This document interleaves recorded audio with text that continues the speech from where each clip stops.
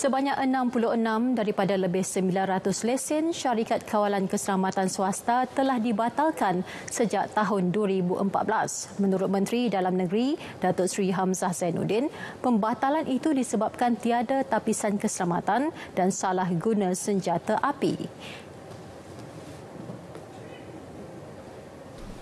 Saya akan benar-benar mengambil tindakan yang tegas tidak ada kompromi lagi mereka yang akan akal ataupun telah menyewa memajak atau hanya menjadi proksi kepada orang lain seperti yang diumumkan oleh Datuk Ramli tadi akan kita tarik semula lesen tersebut untuk tidak boleh lagi berkhidmat dalam negara kita.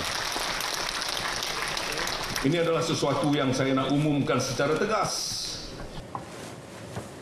Datuk Seri Hamzah turut mengingatkan sekiranya lesen syarikat tidak diperbaharui selewat-lewatnya 31 Disember depan, maka ia akan ditarik balik.